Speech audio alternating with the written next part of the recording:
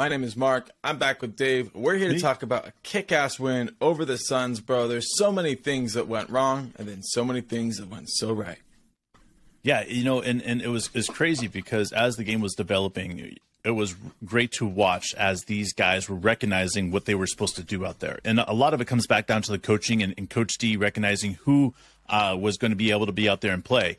And the first indication that I knew that things were going right for him with Coach D was when he put Lindy Waters out there, and Lindy Waters started dominating on both sides of the floor. It was like, okay, you know what? Coach D's got this thing going down now. He's figured out a person. I wonder if he's going to use Lindy Waters in that fourth quarter, and he did.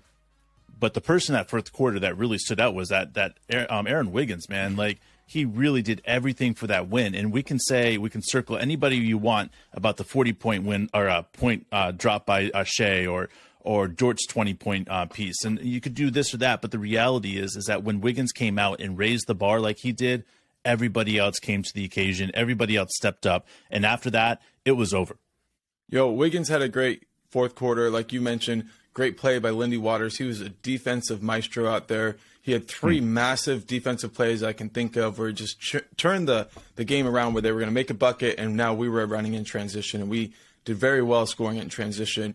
But then, like you mentioned, we went to Wiggins, and I heard Coach talking about going to Wiggins, and he said he wanted to save going switching one through five until the fourth quarter because if you give mm. a team that look early in the third quarter, then they're going to come out and they're going to adjust. So he saved that, he kept it in his pocket, and then boom, he sprung Wiggins out there. And then they started switching one through five. That gave enough of a wrinkle on the defensive end, and we saw what Wiggins was able to do, getting out there, running in transition, getting stops, scoring buckets. Yeah, I mean, it's easy to point to these guys and say like these role players are playing great. Well, and then we're missing Shai's forty-point game. But the reality is, we always say this, and it's the reason we're going to overemphasize it. Is this: we want stars who are role, role players who are stars in their role.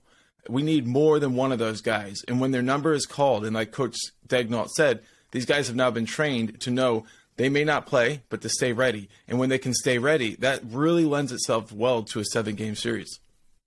Yeah, and it's what we've been saying all along. Everybody's been uh, talking about uh, Coach D and his his um, um, substitutions and stuff like that. A lot of people that don't understand really what's going on with it uh, have a lot of opinions about it. But the reality is, is by doing what he's doing, it's it's it's conditioning your team, right? It's conditioning your team to exactly what you need and where your weaknesses as a coach, you are uh, getting covered by your players. And for Coach D to recognize that and be able to position his team like that is truly spectacular. In that fourth quarter, let's just start. I mean, mm-hmm. like that first half, man, that was rough first half. Like that, we were down 12 going into halftime. I felt like we were uh, uphill um, battle. Sabbath, one of our um, uh, daily listeners, man, uh, he was talking about just how, uh, not Sabbath, I'm sorry. Um, I don't remember who it was, but he was on our uh, list saying that he wrote all of his friends saying, get on this, guys. You got to start watching this game. We're down 12 and he started telling everybody to watch the game because that's the reality is when you start believing that this team can do something, right? You start recognizing that 12 points isn't enough against us. It doesn't matter who we're playing against. It's not enough. And then you start believing, right? And then you start feeling that that heart rate, right? And you're like, guys, this is the game. This is the game to watch because if you're going to watch this team do something special, the Suns game is the beginning of that. And listen, we got a really nice stretch coming up. We got two against the um, uh, Clippers and one against LA, and then we have a bunch of games that we need to win. And if we can win two of the next three games, bro, we're putting ourselves in a position to really go what we talked about that that uh, 16 and four record that we need to circle and try to get to because that means we could get to the top six.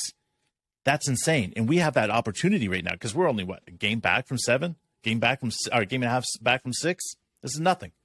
Yeah, we got to look at it and say if we can go 500 the rest of the way, or one game above 500, and we end up at 500 on the season, we're going to make it to the play-in game. Now, how that's going to work out, whether or not it will work out, that's all up in the air. But I think at this point, unless we, you know, fail to live up to the 500 at the end of the season, then we will be in the play-in. The question is now, like you're saying, can we move up a couple more spots? As of today, I think we're sitting at the eighth seed, and we're one game back from being able to get into that seventh seed, which is really like a great goal. But in the end, the sixth seed is where you can skip the play in. That might feel a little bit greedy for a lot of us, but let's face it, this Suns game really opened our eyes because we saw them take so many punches. The Suns had the game really where they wanted it. They were up by Completely. 10, 12, 14 points in, late in the third quarter. We put on a little flurry, but then to start out the fourth quarter, bro, we fell back down by 10 again. So they had what they wanted, but we started finding some grooves. We find, found some things like we mentioned many times already Wiggins getting out there, but also Shai coming back. Um, they, we got going downhill. Bro. We started getting out in transition. What's up, bro? No, I was just echoing, bro. Yeah, you're right. yeah, we were able to find what we wanted. Dort continued to stay hot. He was hot all game, and his shot was falling. Bro, this was a team win, but really, you got to look at like the maturation of the team. You got to look at what coach you know mentioned is like a lot of these games in the past, we would kind of let go of the rope for a minute. Next thing you know, we'd find ourselves down 18 or 20 points, and that's much much more difficult. We didn't do that. We stayed in it, and then the game, the tide changed. Shai started making some of the shots that were more difficult. We were playing a little bit more space. We understood how to attack their defense. We knew what they were doing. And then we started throwing some wrinkles, do that three quarter court trap that we were using to get the ball out of Booker's hand so he couldn't just bring it up and initiate the offense. There are so many different little wrinkles I haven't seen yet. So it makes me think this team still has another gear. Oh yeah, dude. This team is not close to peaking yet for the season, and and I and I say that with all due respect to the rest of the NBA. Um, what we watched from Coach D and how he was able to get those gear, gears up for those guys, recognizing that nothing was was working, nothing besides Dort and, and Shai were, were out there scoring consistently, and and yes, we had some other guys that were pitching in, but on a consistent basis, we weren't getting anything else, and. I, I, I look at that and I and I see Coach D saying, okay, if we're going to win this game, we got to do something special you know, assistant coaches, let's get in here, let's brainstorm. We got one quarter to put this together. You know, Shai comes out of the game. You know, the Suns go ahead and, and, and up that score, uh, that lead again, and then all of a sudden, uh, out of nowhere, we go on this crazy run, and it was an eighteen to two run, and that what was it? The almost the entire time Shai was on the bench for that run. I mean, he came back into the very end of that run, but but the, the point is, is that we can say it was Shai that that did this, right? But it was Coach D that was able to coach the guys and say, we need to do this trap. We need to do this. We need to do this. We need to do this. These are the three things that we need to change in order for us to win this game. It doesn't matter about Shai. It doesn't matter about Shai right now. It's about you guys. You guys going out there and laying your hearts on the um, on the line and doing whatever it takes because that's the reality where this team's at, man. We're not going to get any wins unless all these guys are out there balls to the wall, and they all know it now. You know, they, they all know that we can't just sit back and hope that Shai scores 40 and, and Dort scores 20 and, you know, uh, a couple other guys score in the teens here and there. Like, we can't always expect that.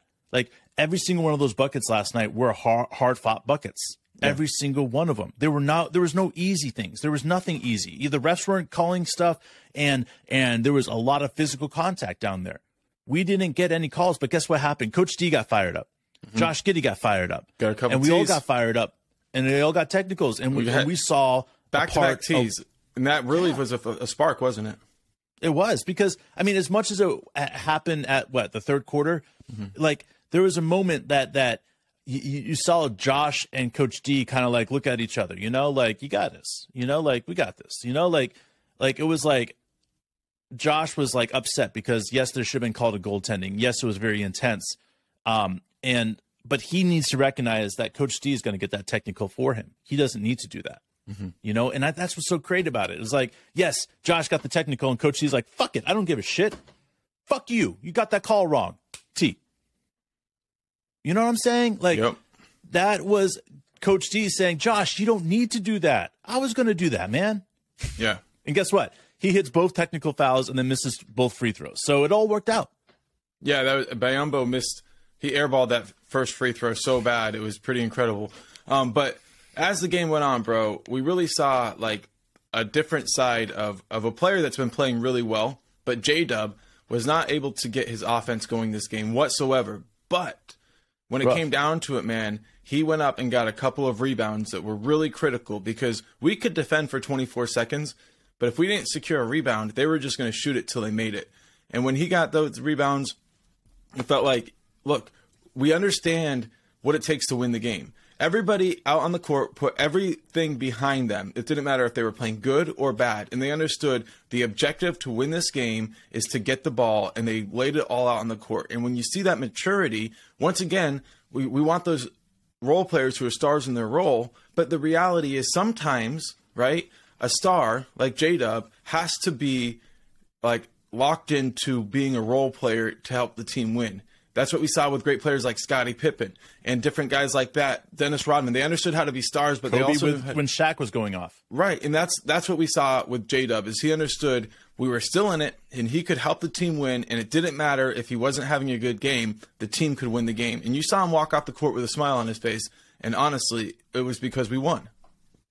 Yeah, he had five points, uh, five assists, two steals, one block, and uh, ten rebounds. Uh, he should have more assists, but the reason he didn't have more assists is because Shai went to the free throw line 19 times. You know, so if you think about that, guys, and you think about the fact that J Dub was understanding what his role was in this game, in particular, is is what's key. You know, like a, a superstar isn't somebody that's going to go out there and score 35 points in every single game. A superstar is going to go out there and and and score 25 points, but hit the game winner. That's going to score 25 points, but grab you know 10 rebounds when he needs to. That'll score 10 points if he needs to, and and, and pull 14 rebounds and, and dish it out 10 times. Like J Dub's going to do whatever it takes to fill in that hole. He took shit, six shots last night. Most of them were driving to the hole and getting to the hole. And then that fourth quarter, Coach D called him out, man. He's like, get to that fucking hole, you know? And he did. And he got to the hole and he was able to get to the free throw line. And this is the the whole reason of what's happening right here is that you look at this team and you say, how did we win this game? We only had 20 assists last night.